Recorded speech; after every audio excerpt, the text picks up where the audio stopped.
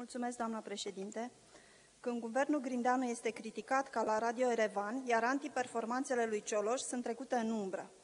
Mass media economică a anunțat în urmă cu câteva zile, citând surse oficiale, că veniturile colectate la buget în luna februarie sunt cu 300 de milioane de lei mai ridicate față de cele din luna februarie 2016. Cu alte cuvinte, Guvernul României a început să colecteze bani la buget mai bine decât o făcea Guvernul Cioloș. Vestea nu are cum să cadă bine tuturor celor care se grăbeau să pună în sarcina Guvernului Grindeanu numeroase scenarii de dezastru economic, bazându-se doar pe informația că, la un moment dat, în luna ianuarie, încasările bugetare au fost cu aproape un miliard de lei mai mici decât în luna ianuarie 2016.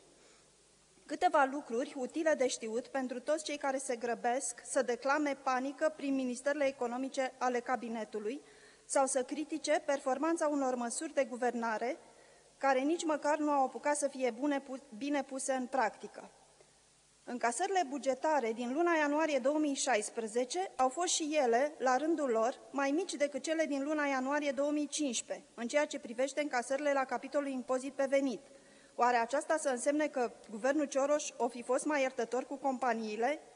În afara capitolului impozit pe venit, încasările din ianuarie 2016 au fost foarte bune pentru că s-au bazat în special pe activitatea economică și măsurile economice promovate de guvernul PSD până în noiembrie 2015 și în special pe reformarea codului fiscal și pe măsurile fiscale prevăzute în acesta.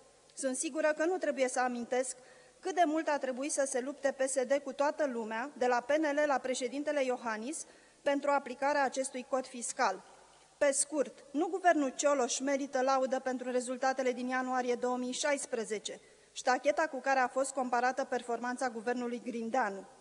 Ca să recapitulăm, în timp ce sunt deosebit de îngrijorați despre cum Sorin Grindeanu și echipa lui de miniștri o să pună România pe butuci, pentru că în luna ianuarie a încasat mai puțin de pe urma lui Cioloș decât a încasat Cioloș în urmă cu un an de pe urma lui Ponta, alarmiștii, cei mai mulți de dreapta și cei mai mulți liberali, uită să spună câteva lucruri elementare.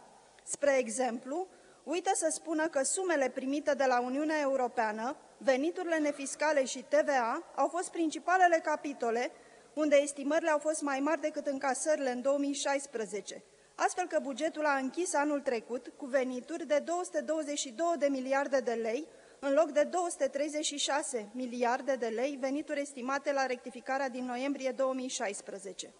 Nu este acum locul și momentul pentru a discuta cine și cum ar fi putut beneficia de pe urma acestor eșecuri în ceea ce privește veniturile nefiscale și TVA. Nu vreau decât să subliniez tuturor celor care caută paie economice în ochii actualului guvern să se uite cu atenție la bârnele din curtea cabinetului trecut. Vă mulțumesc, Beatrice Tudor, PSD, circumscripția București. Mulțumesc.